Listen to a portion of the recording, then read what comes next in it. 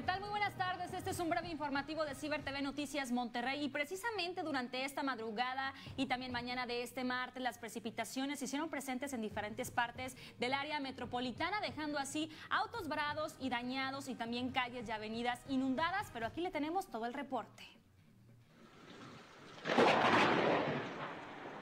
Una fuerte tormenta eléctrica acompañada de chubascos perturbó el sueño de los regiomontanos y del resto de los vecinos de la zona metropolitana. Alrededor de las 5 horas, elementos de protección civil de Nuevo León y municipios metropolitanos empezaron a emitir alertas debido a las inundaciones y fuertes encharcamientos que se empezaron a presentar en los ya conocidos focos rojos de Monterrey, Guadalupe, Apodaca y San Nicolás.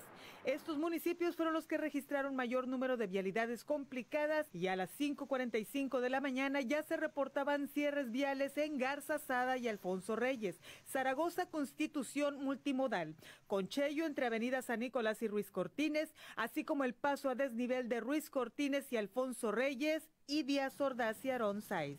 En algunas colonias de San Nicolás se reportó incluso la caída de granizo. Pasada las 7.30 de la mañana las lluvias empezaron a disminuir y se prevé que en el transcurso del día se sigan presentando, por lo que se solicita a la población estar muy atenta a los llamados realizados por las autoridades, pero sobre todo a guardar prudencia ante avenidas, pasos a desnivel, puentes y vados inundados. Sofía Soreli Peña, Ciber TV, Noticias Monterrey.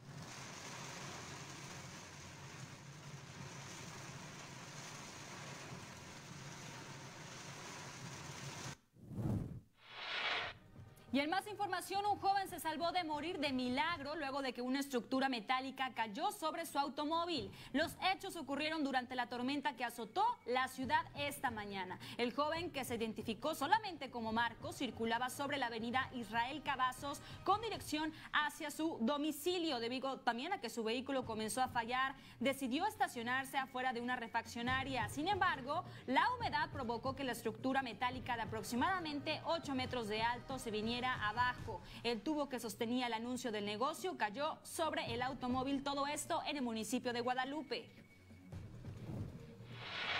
Y con cuerdas y equipo de rescate acuático, dos hombres fueron rescatados de la corriente en el río Santa Catarina la mañana también de este martes. El operativo fue montado por los elementos de protección civil sobre la avenida Constitución a la altura del multimodal. Y al bajar también el nivel de los encharcamientos, la realidad que vive la ciudad cada vez que llega una tormenta salió a relucir. Y es precisamente en Monterrey y la zona metropolitana donde las alcantarillas quedaron cubiertas de basura de todo tipo. Sobre calles principales también y avenidas, el plástico, las botellas, llantas y restos de madera obstruyeron el paso del agua. Durante la mañana también el personal de servicios públicos de muchos municipios comenzaron a retirar escombro y también la basura de las rejillas. Y gran conmoción ha provocado un video que circula en las redes sociales, esto en Morelos, en el que se observa el momento justo en el que una niña llamada Melanie de 10 años fuera sustraída con lujo de violencia por su propio padre. La Fiscalía General del Estado de Morelos lanzó una alerta Amber para localizar a la menor. La autoridad explicó que de acuerdo a la investigación que se lleva a cabo, se presume que el hombre y la niña no han salido de Cuernavaca, por lo que han instalado un cerco policíaco para evitar que salgan de la capital del estado. La alerta Amber enviada incluye los datos y características de la menor de 10 años. Es mexicana, cabello castaño oscuro, lacio y largo también, los ojos cafés oscuros, estatura de 1.40 metros, peso de 35 kilogramos, tez morena clara y nariz chata. Al momento de ser sustraída, vestía playera blanca de manga corta, pantalón de mezclilla oscuro y tenis blanco con negro. No tiene señas particulares. Miren este video que le estamos presentando. Si sabe más informes, pues comuníquese a los teléfonos hacia las autoridades correspondientes.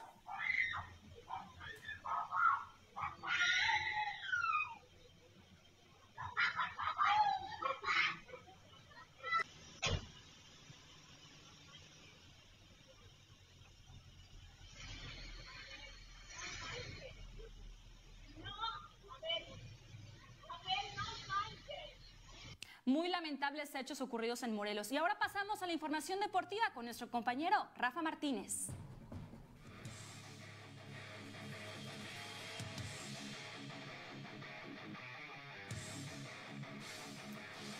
Gracias Nayeli, buena tarde. Nos acomodamos que vamos con la información de los deportes. Vaya controversia que se va a generar en redes sociales después de que la UEFA ha decidido pues rechazar el proyecto o la petición que la ciudad de Múnich había puesto para eh, que el estadio del Allianz Arena fuera iluminado con los colores de la comunidad LGBTI y es que esto lo buscaban hacer para el partido entre Alemania y Hungría como una protesta por la nueva ley impuesta en Hungría para erradicar todo este tipo de actos homofóbicos. Sin embargo, la UEFA decidió que eh, pues no sea así, que no se ilumine como lo estamos viendo en la fotografía, emitió un comunicado donde pues explica las razones y en pocas palabras dicen que pues según sus estatutos la UEFA es una organización políticamente y religiosamente neutra, así que no debe de verse tendenciosa ni hacia un lado ni hacia otro. Y mientras se busca erradicar gritos homofóbicos y demás, no quisieron apoyar a esta comunidad después de lo que pues eh, se ha estado solicitando después de aquella ley impuesta en Hungría, esto para el partido entre la selección de Alemania y la selección de Hungría en actividad de eh, la Eurocopa que se está disputando en estos momentos. El partido sería el de mañana entre Alemania y Hungría. Y bueno, pues la controversia empieza a verse en redes sociales. Hay quienes le dan la razón a la UEFA que debe de ser imparcial y no verse apoyando a una comunidad o a otra y simplemente eh, dedicarse a lo suyo que es el fútbol. Algunos otros están molestos por no haber apoyado esta causa. Es lo que tenemos en la información de los deportes. Que tenga un excelente día.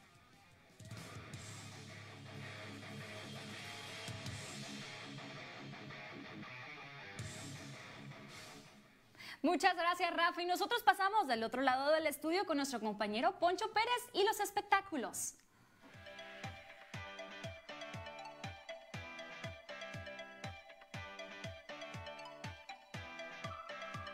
¿Cómo están? Muy buenas tardes. Llegamos a la información de los espectáculos y quién tenemos aquí a Diego Boneta en el personaje de Luis Miguel y es que le vamos a platicar justamente qué es lo que está ocurriendo con este actor porque hay otro actor dentro de esta famosa serie que dice que lo va a demandar. Estamos hablando justamente, bueno, primeramente de Diego Boneta y es que está envuelto, como le mencioné, en nuestra controversia luego de que el actor español Martín Bello, quien interpretó al tío Tito en esta producción, bueno, asegura que procederá legalmente contra el famoso actor y con quien resulte responsable porque presuntamente dice que lo golpeó durante las grabaciones de la serie y lo dejó con secuelas que aún debe enfrentar para estar bien. En una entrevista que dio una famosa revista de circulación nacional, bueno, vamos a decir a, TV Notas, bueno, pues el actor Martín Bello, eh, originario de España, reveló que busca una compensación económica por los gastos médicos que ha cubierto durante este tiempo tras ser golpeado por Diego Boneta. Él asegura que durante esto ocurrió durante una grabación de una escena, eh, pues mientras hacían justamente esta famosa serie que recién terminó su segunda parte, dice que los eh, pues golpes que eran en este caso de mentiras se convirtieron en realidad, terminó ahí una trifulca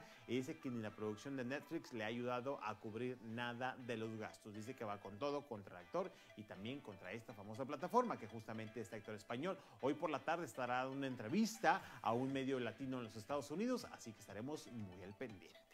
Ahí está la información de los espectáculos. Muy buenas tardes.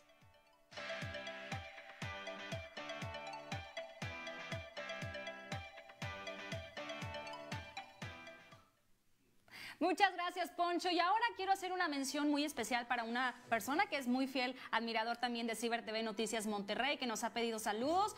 Bueno, pues él se titula como el Costeñito en Facebook. Muchos saludos para ti, Costeñito, que estás muy pendiente de todas nuestras emisiones de Ciber TV Noticias Monterrey. Si usted también nos está viendo y también quiere saludos, háganos llegar cualquier también tipo de comentario, algún saludo. Nosotros lo estaremos pasando en cualquier emisión en vivo de Ciber TV Noticias Monterrey. Nos despedimos, pero volvemos más adelante. Que pasen muy buenas tardes. Yes.